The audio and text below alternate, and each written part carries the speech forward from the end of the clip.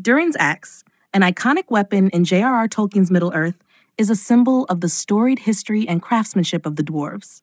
Renowned for its historical significance and connection to the dwarven lineage, this formidable axe represents the martial prowess and cultural heritage of the dwarven people.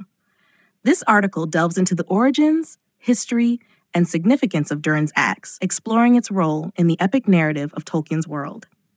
Durin's axe is closely associated with Durin First, the founder of the dwarven kingdom of Khazad-dûm, later known as Moria.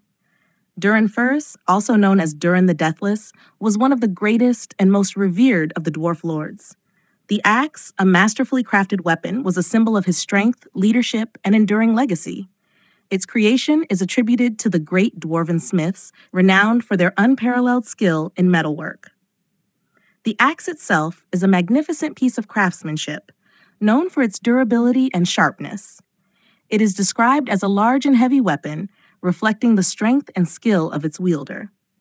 Durin's axe is not merely a weapon, but a powerful artifact imbued with the history and pride of the dwarven people. It was a symbol of Durin's authority and his connection to the ancient and noble lineage of the dwarves. In Tolkien's legendarium, Durin's axe is more than just a weapon.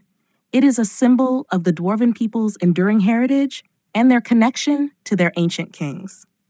The axe is featured in various tales and legends of Middle Earth, representing the strength and resilience of the dwarves as they faced numerous challenges and adversaries.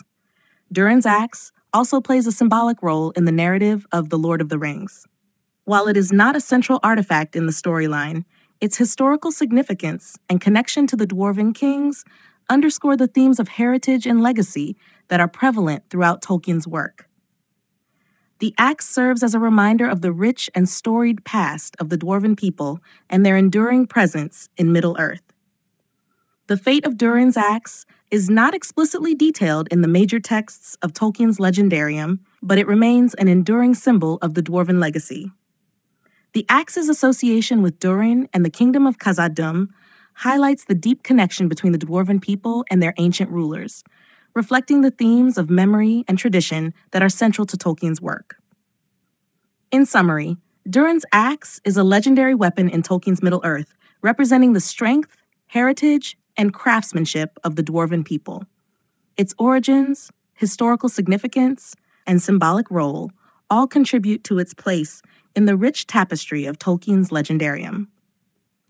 Durin's axe stands as a testament to the enduring legacy of the Dwarven kings and their remarkable contributions to the world of Middle Earth.